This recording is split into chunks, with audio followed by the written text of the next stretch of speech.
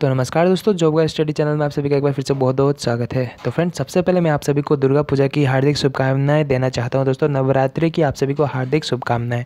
तो फ्रेंड चलिए बातें हैं अब अपने मेन टॉपिक में। आज से हम स्टार्ट करने वाला हमारा नई चैप्टर जिसका नाम है बोर्ड्स एंड स्ट्रीम तो दोस्तों, ये काफ़ी आसान सा चैप्टर बट कॉन्सेप्ट नहीं होने के कारण काफ़ी सारे स्टूडेंट इस चैप्टर के क्वेश्चन छोड़ के आ जाते हैं। तो दोस्तों, इससे हर एग्ज़ाम में एक से दो क्वेश्चन ज़रूर पूछे जाते हैं हर एग्ज़ाम में, और काफ़ी आसान से चैप्टर है। अगर जो आप थोड़े से ध्यान दे देंगे तो आपकी ये चैप्टर में मस्त कमांड बन जाएगी। आप किसी भी क्वेश्चन को चुटकियों में सॉल्व कर लेंगे विद इन फाइव सेकेंड ठीक है?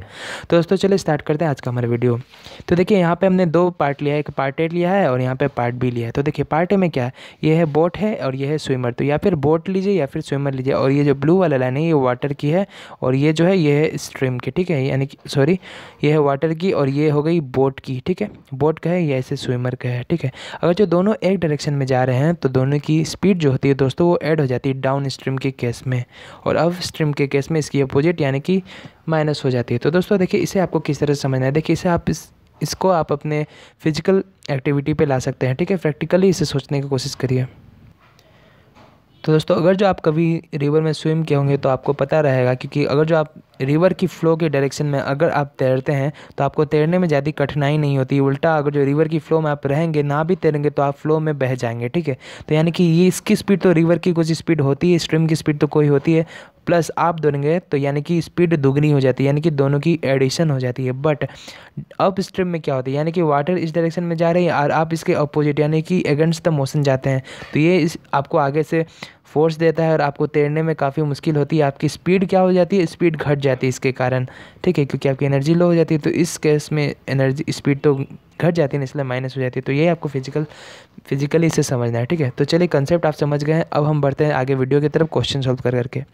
तो फ्रेंड आप तक अभी ने हमारे चैनल सब्सक्राइब नहीं किया अभी तक तो आप चैनल को सब्सक्राइब कर दें और बगल में जो बेल आइकन है, उसे आप इनेबल कर दें, ठीक है? इससे आपको क्या होगा, हम जब भी वीडियो डालेंगे, आपको उसकी नोटिफिकेशन जल्द से जल्द मिल जाएगी। तो देखिए, यहाँ पर पहला क्वेश्चन है a boat rowed down a river at 21 kilometer per hour rowed up the river at 9 kilometer per hour what is the velocity of the stream क्या कह रहा है कि एक बोट है, ठीक है? वो स्ट्रीम देखिए, ये हमने ले लिया स्ट्रीम ठीक है? यानी कि ये डाउन द स्ट्रीम जा रहा है 21 किलोमीटर पर आवर की स्पीड से, ठीक है? 21 किलोमीटर पर आवर की स्पीड से और ये अप स्ट्रीम जा रहा है, ठीक है? नाइन किलोमीटर पर आवर यानी कि देखिए एंड रोड अप अप बोले या अप स्ट्रीम का है उससे आपको समझ जाना है। तो इसमें जा रहा है कितना? नाइन किलोमीटर पर आवर की स्पीड से। अब देखिए क्या करना है।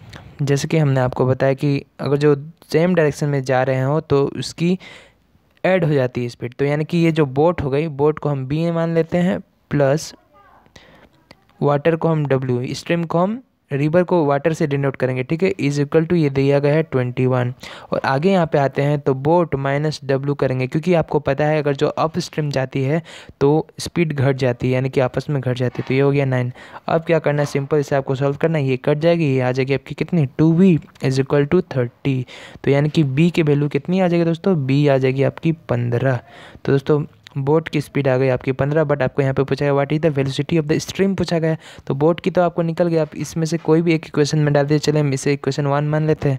तो हम इक्वेशन वन में अगर जो हम पुट करते हैं तो हम क्या लिखेंगे? लिखेंगे बोट की वैल्यू दी गई, हमें वाटर की निकालनी है तो ट्वेंटी वन माइनस बोट है, इस तरफ़ चला जाएगा, ये इस तरफ़ आ जाएगा।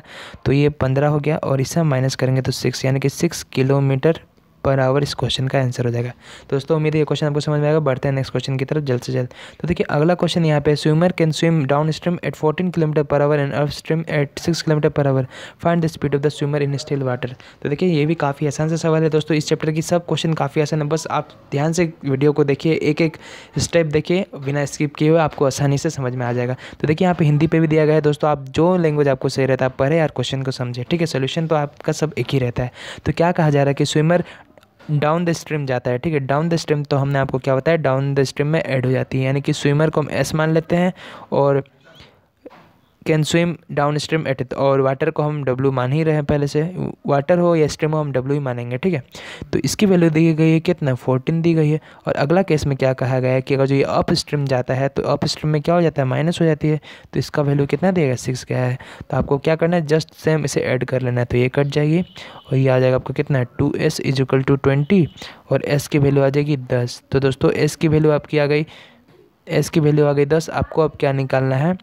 What is the speed of swimmer आपको स्विमर की स्पीड निकालनी है, ठीक है दोस्तों? तो स्विमर की स्पीड यहाँ पे क्या आ गई? दस आ गई।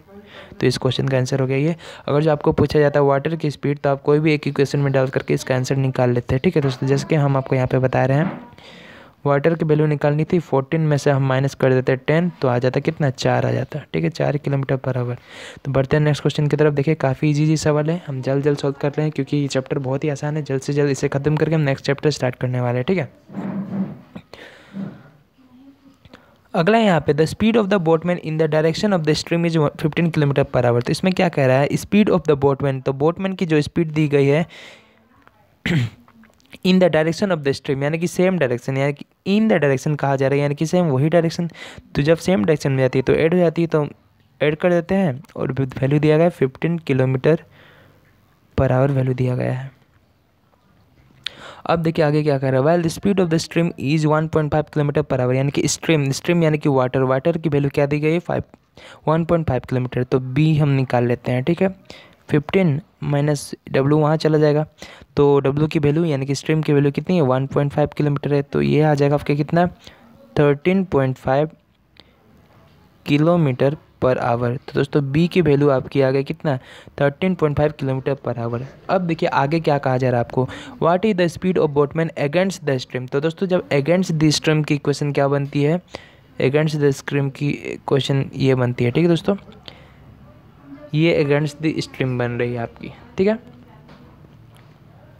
तो दोस्तों, देखिए अगेंस्ट द स्ट्रीम हमें निकालनी है तो इक्वेशन ये बनती है और हमें क्या निकालना है? स्पीड निकालनी है तो स्पीड को हम यहाँ पे लिख लेते हैं एस ठीक है दोस्तों? स्पीड को हमने लिख लिया एस तो ये देखिए बोट की स्पीड हमारे पास है थर्टीन पॉइंट फाइव और डब्लू ठीक है दोस्तों? डब्लू जिसकी डब्लू की हमें पहले से पता है वाटर की स्पीड वन पॉइंट फाइव यहाँ पर दी गई है, ठीक है? तो जस्ट हम सेम वैल्यू यहाँ पर लिखेंगे वन पॉइंट फाइव अब एस की वैल्यू निकालेंगे तो दोस्तों एस की वैल्यू निकालेंगे तो हमारे पास आ जाएगा कितना? बारह आ जाएगा, ठीक है दोस्तों? तो बारह किलोमीटर पर, बारह किलोमीटर पर आवर हो गया इस क्वेश्चन का आंसर ठीक है दोस्तों? तो देखिए, काफ़ी आसान से चैप्टर है। उम्मीद आपको समझ में आ रहा है हम सारे क्वेश्चन राकेश यादव सर की बुक से सॉल्व कर रहे हैं, ठीक है फ्रेंड तो देखिए, अगला क्वेश्चन यहाँ पे question number four a swimmer swims a distance of thirty six kilometer in six hour downstream यानी कि डाउन स्ट्रीम स्विमर जा रहा है क्या? डाउन स्ट्रीम जा रहा है वाटर में और इसकी जो दी गई है। डिस्टेंस दिया गया है दोस्तों छत्तीस और टाइम दिया गया है छः तो दोस्तों आपको पता है स्पीड इजक्वल टू क्या होता है डिस्टेंस तो दोस्तों स्पीड इजक्वल टू क्या होता है? डिस्टेंस बाय टाइम तो डिस्टेंस है छब्बीस और छत्तीस है और टाइम है सिक्स आवर तो ये कट के आ जाएगा कितना? सिक्स आ गया हमारे पास। अगला केस में कह रहा है and distance of forty kilometer upstream upstream में ये जब जा रहा है तो इसकी डिस्टेंस क्या हो जाती है? फोर्टी किलोमीटर पर आवर हो जाती है। एट पे तो स्पीड हमें यहाँ पे निकालना है। तो इसका स्पीड क्या आएगा एट फाइव जब फोर्टी यानी कि फाइव आ गया। अब जस्ट यहाँ पे सिंपल से सोल्यूशन है। एडिशन करेंगे, दोनों को काटेंगे। Two S is equal to आ जाएगा एलेवन ठीक है तो two S is equal to आ गया एलेवन और एस की एस की वैल्यू हम यहाँ पे निकालेंगे तो एलेवन बाई टू तो ये आपका क्वेश्चन यहाँ पे what is the speed of swimmer यानी कि स्विमर की स्पीड ये आ गई, यानी कि क्या? फाइव पॉइंट फाइव ठीक है दोस्तों फाइव पॉइंट फाइव इस क्वेश्चन की आंसर आपके आ गई five point five kilometer per hour बढ़ते हैं नेक्स्ट क्वेश्चन की तरफ़ जल्द से। तो दोस्तों, देखिए, अगला क्वेश्चन क्वेश्चन नंबर फिफ्टीन ठीक है क्वेश्चन नंबर फिफ्टीन में क्या करें? In three hours a swimmer can go twenty one kilometer downstream and fifteen kilometer against the stream in the same direction find the speed of the stream आपको stream यानी कि water की निकालनी है। तो इसमें क्या कह रहा है? तीन घंटे में एक स्विमर है, इक्कीस किलोमीटर डाउन द स्ट्रीम जाता है, ठीक है? डाउन स्ट्रीम जाता है, यानी कि ये चलिए स्विमर मानिए या बोट मानिए, चलिए स्विमर ही मान लेते स्विमर ये डाउन द स्ट्रीम जाता है डाउन द स्ट्रीम जाता है तो वहाँ पर वाटर लिखते हैं। ठीक है दोस्तों? तो देखिए फ्रेंड यहाँ पे हमने लिख लिया और ये दी गई कितना? Twenty one kilometre down stream तीन घंटे में ट्वेंटी वन किलोमीटर चलता है। तो दोस्तों, तीन घंटे में ट्वेंटी वन जब ये चलता है तो हमें पता है स्पीड इजकल टू क्या होता है? डिस्टेंस बाय टाइम होती है। तो डिस्टेंस हमारा कितना है दोस्तों? डिस्टेंस है हमारा इक्कीस और डिस्टेंस है हमारा इक्कीस और टाइम है थ्री तो ये हो जाएगा सात, यानी कि सात घंटा यहाँ पे आ जाएगा, ठीक है? और यहाँ पे क्या कह रहा है? अगेंस्ट द स्ट्रीम यानी कि downstream and fifteen kilometer against the यानी कि पंद्रह किलोमीटर वो जा रहा है अगेंस्ट द स्ट्रीम यानी कि ऑफ़ स्ट्रीम तो यहाँ पे स्विमर हो गई तो हम यहाँ पे माइनस करेंगे और इसकी वैल्यू ये क्या दी गई? पंद्रह किलोमीटर बट सेम टाइम कहा जा रहा है तो पंद्रह किलोमीटर को हम डिवाइड करेंगे तीन से तो ये आ जाएगा कितना पाँच आ जाएगा। दोस्तों, बस सिंपल सी सोल्यूशन है, जैसे हम करते आ रहे हैं, ये आ जाएगा two S is equal to twelve और S is equal to six तो दोस्तों, आपकी स्विमर की स्पीड आ गई। The speed of the stream swimmer की स्पीड आ गई आपके six kilometer per hour but आपको निकालना है, किसकी? आपको निकालनी है स्ट्रीम की। तो यहाँ पे स्ट्रीम की हम किसी भी एक इक्वेशन में डाल लेते हैं। तो चलिए, हम यहाँ पे डाल लेते हैं। तो वाटर की स्पीड जो हमें निकालनी है सेवन माइनस सिक्स यानी कि वन किलोमीटर पर आवर इस क्वेश्चन की आंसर हो जाएगी। बढ़ते हैं नेक्स्ट क्वेश्चन की तरफ़। दोस्तों, उम्मीद है आपको अच्छे से समझ में आ रहा होगा सारे क्वेश्चन देखिए, अगला क्वेश्चन है यहाँ पे।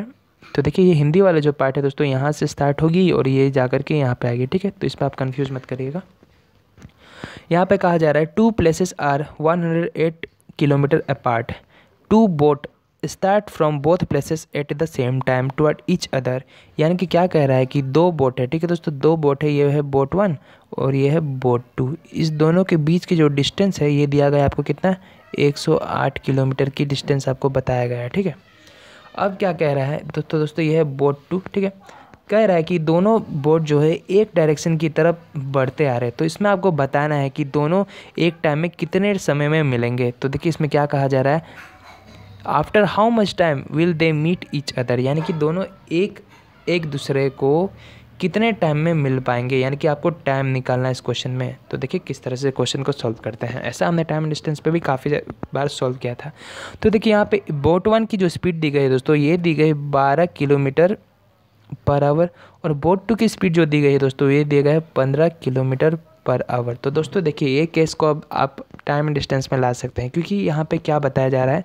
डिस्टेंस दिया गया है और दोनों एक ही डायरेक्शन की तरफ़ आ रहे हैं और स्पीड दिया गया है, ठीक है दोस्तों? स्पीड दिया गया तो दो चीज़ की स्पीड जब दी रहती है तो हम उस पर क्या करते हैं? रिलेटिव स्पीड यूज़ करते हैं। तो रिलेटिव स्पीड अगर जो इस पर आप यूज़ करेंगे तो आपका रिलेटिव स्पीड कितना आ जाएगा? रिलेटिव स्पीड आपको पता है, जब दो डायरेक्शन अपोजिट डायरेक्शन में आ रहे होते हैं तो रिलेटिव स्पीड क्या हो जाती है? ऐड हो जाती है। तो रिलेटिव स्पीड अगर जो इसकी ऐड हो जाएगी तो ये आ जाएगी कितना? सत्ताईस किलोमीटर पर आवर ठीक है? सत्ताईस किलोमीटर पर आवर आ गया बट अब आपको क्या करना है? आपको निकालना है यहाँ पे टाइम निकालना। है तो टाइम आपको क्या निकालना है? जस्ट टाइम आप निकालना है। टाइम का फॉर्मूला क्या होता है? टाइम का फॉर्मूला होता है डिस्टेंस बाय स्पीड तो डिस्टेंस आपका है यहाँ पे 108 किलोमीटर और स्पीड आपने ऐड करके निकाल लिया सत्ताईस किलोमीटर तो यहाँ पे लिखेंगे सत्ताईस किलोमीटर। अब बस आपको क्या करना है? तो ये आपका काटेंगे इसको तो ये ट्वेंटी सेवन एट टाइम में चल जाएगा, ठीक है? Sorry twenty seven four time में चल जाएगा। तो यानी कि फोर फोर ये आपका क्या जाएगा? फोर यहाँ पे फोर आ गया तो ये जो इसकी यूनिट होगी, ये क्या होगी? आवर में होगी, क्योंकि हमने किलोमीटर पर आवर यहाँ पे यूज़ किया था। तो यानी कि चार घंटे में दोनों को मीट कर लेगी, ठीक है? तो क्वेश्चन नंबर सिक्स यही था दोस्तों। तो दोस्तों, आज के वीडियो में बस हमारे इतना ही रहा, ठीक है दोस्तों? मिलते हैं हम अगले वीडियो में। तो ये था हमारा क्या? ये था हमारा पार्ट वन था दोस्तों, अब हम मिलते हैं आपके साथ पार्ट टू के साथ, ठीक है दोस्तों? पार्ट टू में हम जल्द ही जल्द स्टार्ट करेंगे। तो दोस्तों, आप कमेंट करके ज़रूर बताइए कि आपको ये वीडियो कैसा लगा और चैनल को सब्सक्राइब करना बिल्कुल नहीं भूलिएगा। मिलते हैं अगले वीडियो में, तब तक के लिए हमारे साथ बने रहने के लिए बहुत बहुत धन्यवाद। मेक श्योर कि आप चैनल को सब्सक्राइब कर लिए हो, ठीक है? चलिए। ऑल द बेस्ट दोस्तों, अच्छे से जम के तैयारी करिए। जय हिंद।